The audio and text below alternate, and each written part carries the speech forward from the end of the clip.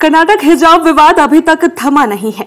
दरअसल इसकी चिंगारी मंगलवार को सुप्रीम कोर्ट में एक तीखी बहस में तब्दील हो गई है। बहस के दौरान एसजी तुषार मेहता ने कई उदाहरणों के ज़रिए साबित करने की कोशिश की कि हिजाब कोई ज़रूरी धार्मिक प्रथा नहीं है। उनकी तरफ़ से यूनिफॉर्म और अनुशासन पर भी लंबी दलीलें दी गई। कोर्ट के सवाल जवाब भी आते रहे, लेकिन मेहता अपनी दलीलों पर कायम रहे। सॉलिसिटर जनरल तुषार मेहता ने कहा है कि मान लीजिए कि किसी ने मेरे भाई को मार डाला और मेरा मानना है कि जब तक मैं बदला नहीं ले लेता, तब तक शांति से नहीं रह सकता। इसका मतलब हत्या आवश्यक धार्मिक अभ्यास का ज़रूरी हिस्सा भी नहीं हो सकता है। मेरे लिए धर्म का मामला नहीं है। ये सभी छात्रों का एक समान रहने का मामला है। जब मैं धर्म निरपेक्ष शिक्षा में हूँ तो धार्मिक पहचान दिखाने वाली पोशाक नहीं हो सकती। मेहता ने कहा है कि वेदशाला और पाठशाला दोनों अलग हैं। वेदशाला में केसरिया पटका पहन सकते हैं। मदरसे में गोल टोपी, लेकिन धर्म निरपेक्ष स्कूल में यूनिफॉर्म का पालन करना अनुशासन है। अगर हम बच्चों की शिक्षा के लिए सेकुलर इंस्टीट्यूट को चुनते हैं तो हमें नियमों का पालन करना बेहद ज़रूरी है। एसजी ने पुलिस बलों में दाढ़ी रखने या फिर बाल बांटने पर प्रतिबंध के संबंध में एक अमेरिकी कोर्ट के फैसले का ज़िक्र किया। एक वकील टोपी पहनकर अदालत में ये कहते हुए आता है कि यह ऑपरेशन थंडर स्टॉर्म का हिस्सा है। जज आपत्ति करता है। इस तरह के एक विनियमित मंच में कोर्ट द्वारा आयोजित प्रतिबंध को बरकरार रखा जाएगा। अगर ये उचित है तो।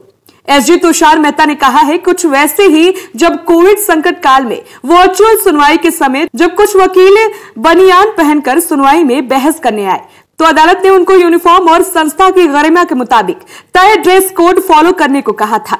कोर्ट ने उनको थोड़ी छूट दी थी, लेकिन अनुशासन की बात कही थी। अनुशासन किसी संस्था को देखकर नहीं आता, बल्कि ये सर्वकालिक, सर्वदेशिक होता है।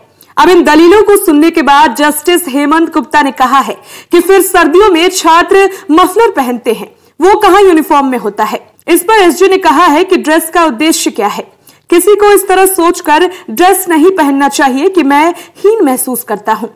ड्रेस एक रूपता और समानता के लिए है।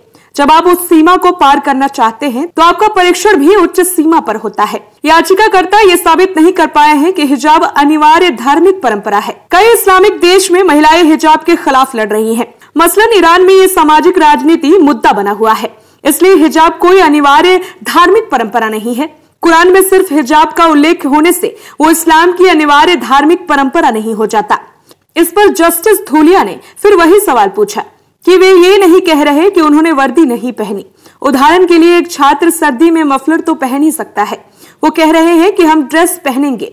वे ये नहीं कह रहे कि हम नहीं पहनेंगे। मान लीजिए कोई बच्चा मफलर पहनता है। वैसे ही कोई छात्रा यूनिफॉर्म के रंग का हिजाब भी पहन सकती है।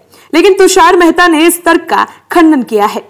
उन्होंने साफ़ कहा है कि यह मफलर धर्म की पहचान नहीं करता, लेकिन हिजाब करता है। तुषार मेहता ने इस बात पर भी ज़ोर दिया है कि धार्मिक परंपरा या फिर प्रैक्टिस 50 साल या फिर 25 साल से जारी रहे, वो नहीं है।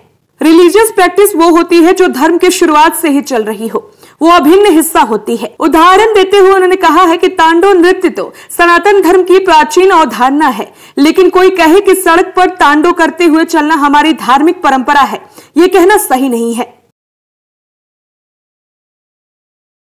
Special report voice of Bharat